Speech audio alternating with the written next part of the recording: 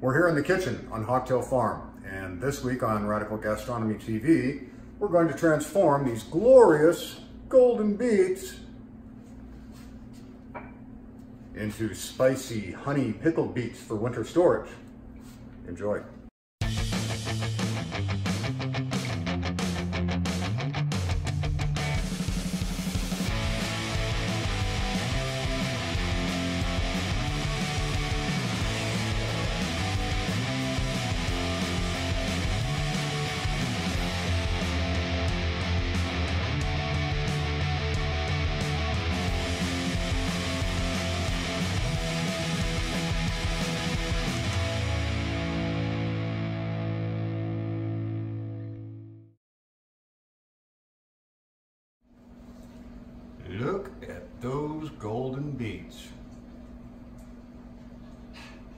Coriander flowers, bird's eye anise heads.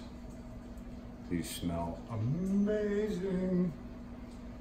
Nice grip of tarragon. That's a beauty. We're gonna pickle them. What we wanna do Leave about an inch of the greens. We'll save these greens to either cook and eat or share them with the livestock. So quick trim. I've already washed these. They came out of the uh, ground a couple days ago. And I field dressed them and gave them a washing. Once we've got them all trimmed, they're going into a pot of salted boiling water to cook until just knife tender and then we'll peel them. So I'm not too concerned about getting every little bit perfectly clean since it's all coming off in the end and it's going into boiling water for oh, about 15 minutes or so. The little ones may go quicker. We'll just kind of keep an eye on them as we go. Then we'll peel them, slice them, make our brine, and pull the flowers that we want to use off and go from there. In they go.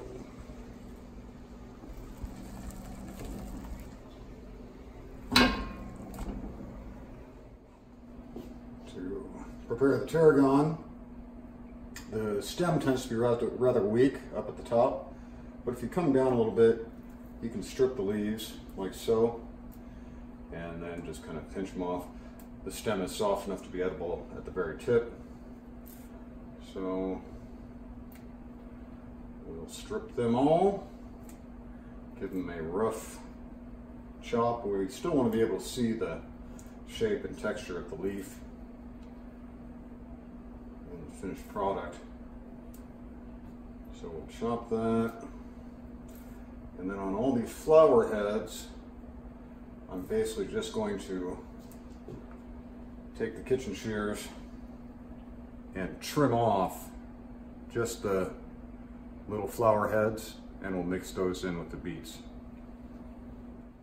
All right, so there's all of our tarragon. Kind of gather it up, give it a slight roll. And then we're just basically making quarter inch slices. Not being too terribly concerned. Just about like that. That should work. So on these, just kind of coming across like that.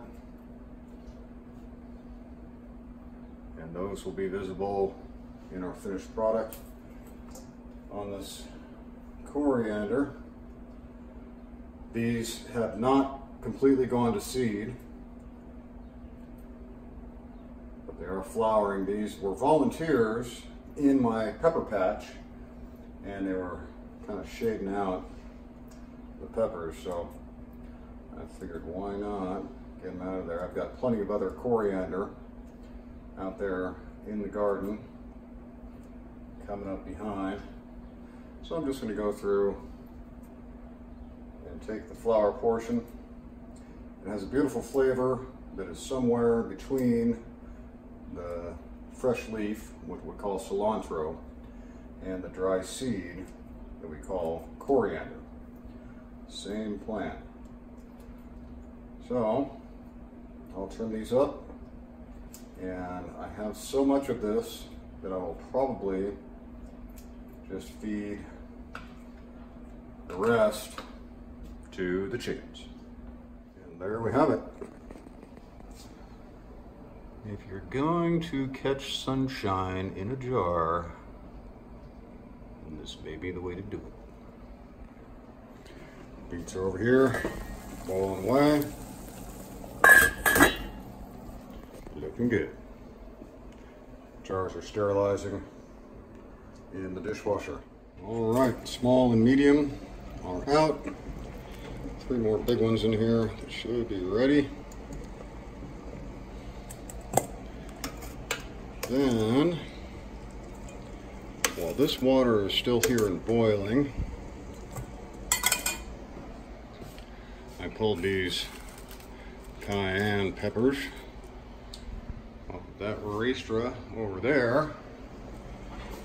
So we're just going to pop them in there. Mostly just to sterilize them before we put them in the jars. We'll put one of these in each jar. We're going to use a good bit of honey in this recipe. And the spice of these chilies with the saltiness and the sweetness and the flowers and herbs should make a really nice flavor. We're going to get our brine simmering while we peel the beets and slice them.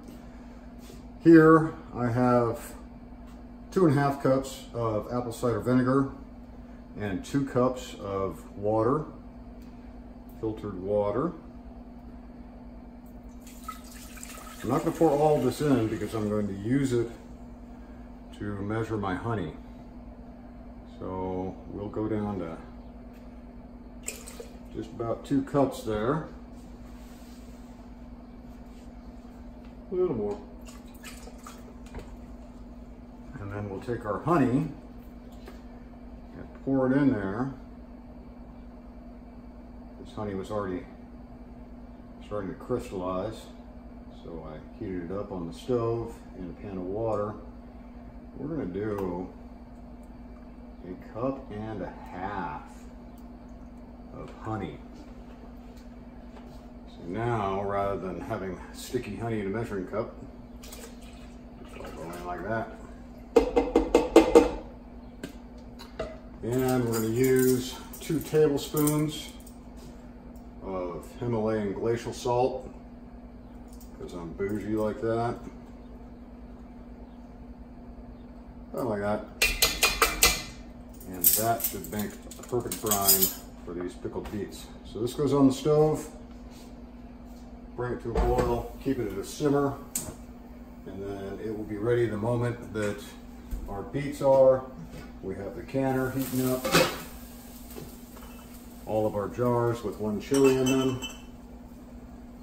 I'm assuming I'm going to have about a gallon of material to fill these jars.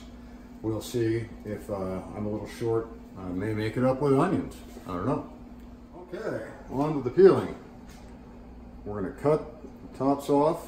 I have my compost bucket in the sink. So we can return the surplus. And then you can pretty much rub the skin off or scrape it with the back of the knife. Should all come fairly easily at this point. And I will do the tedious work of getting all of these peeled and then we'll slice them.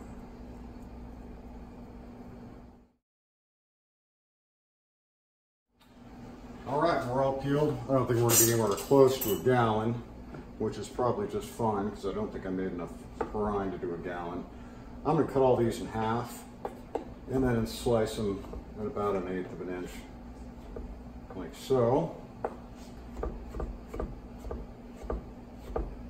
Now I didn't weigh the amount of beets I started with, just basically cooking what came out of the garden.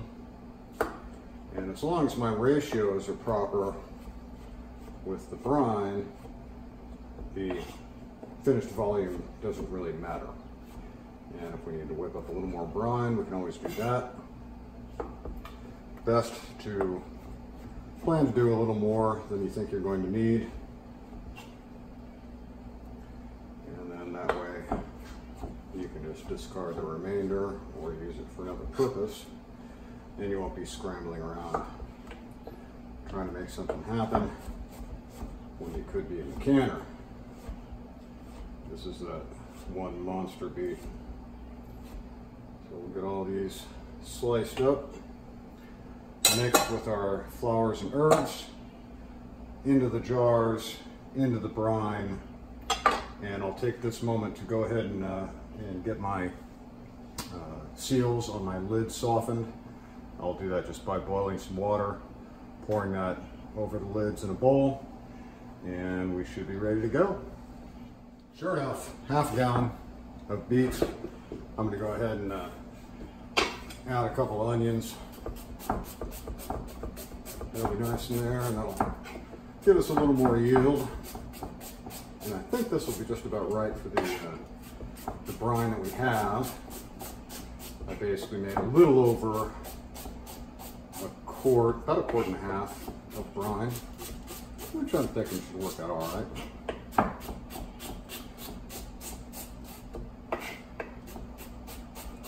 So onions, julienne, like so.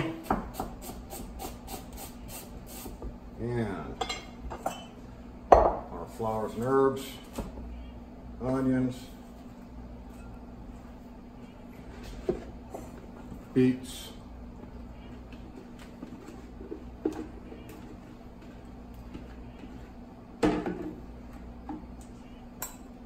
one on the floor. All right, I'll get this stirred up. And then we'll be ready to put it in the jars.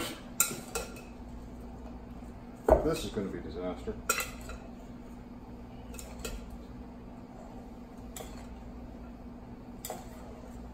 So I'm just looking to get a nice homogeneous blend. The beets, the onions, tarragon, bird's eye fennel flower, and the coriander flower.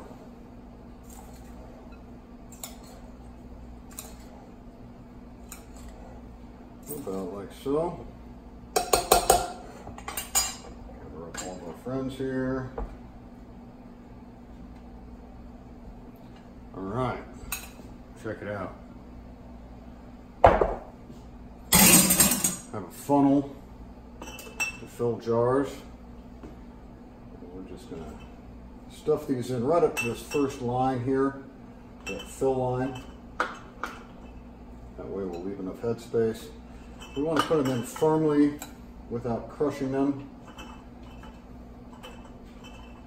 But just so we get a nice good pack. If you don't put enough in, then you end up with a lot of brine in the jar with a few floating beets on top, and that's not very impressive. So try to hit the magic middle.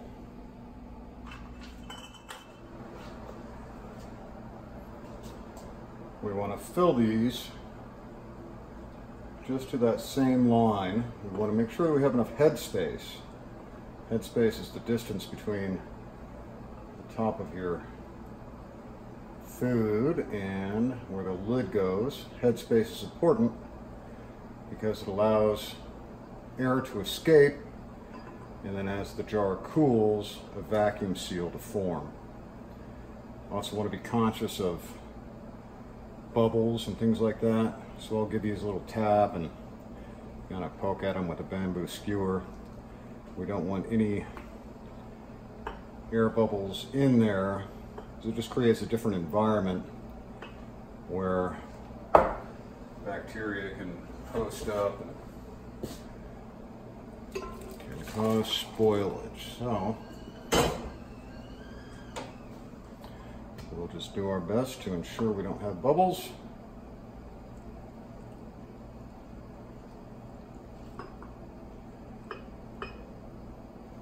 And somehow, looks like I guessed just about right all the way around.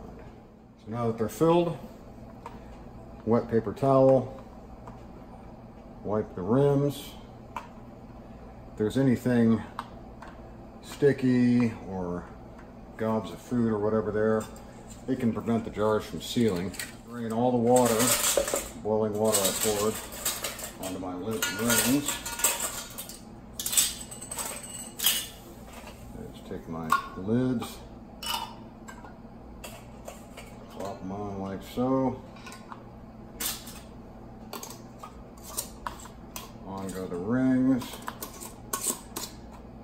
I just put them on loosely threaded at first. Once I've got them all on, I'll come back and tighten them to finger tight where they just give a little resistance.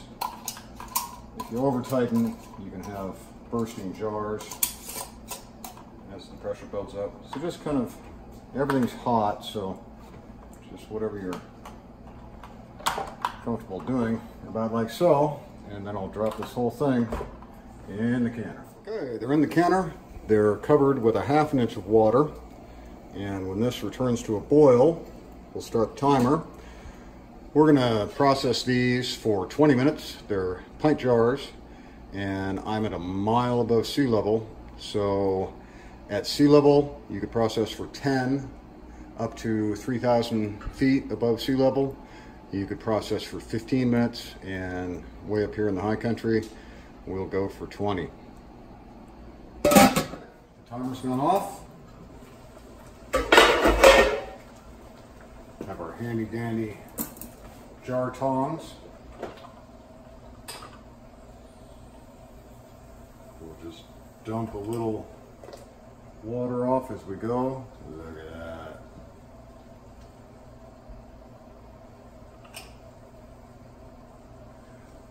I use a towel so that I don't put hot glass in contact with a hard surface.